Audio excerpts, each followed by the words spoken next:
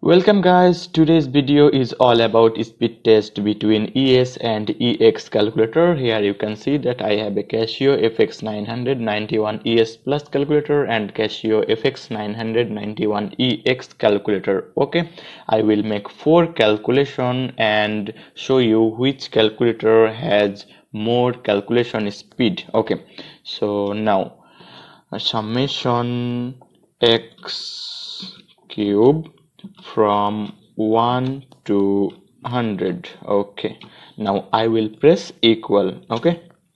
So EX calculator has higher calculation speed. Okay. Now I will just change the power and make 3 to minus 3 okay.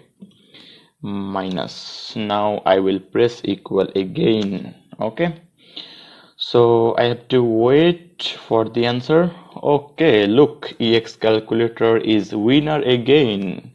So the answer is 1.2 and I have to wait for the answer from ES calculator.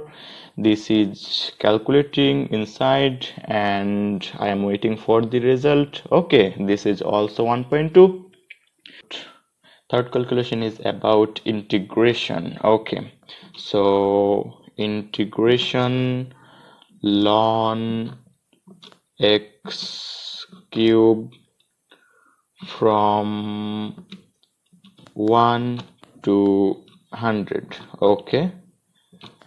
Then solve this okay? Look both calculators are busy in calculating and I have got the answer 1084.55 and the calculator is slower okay?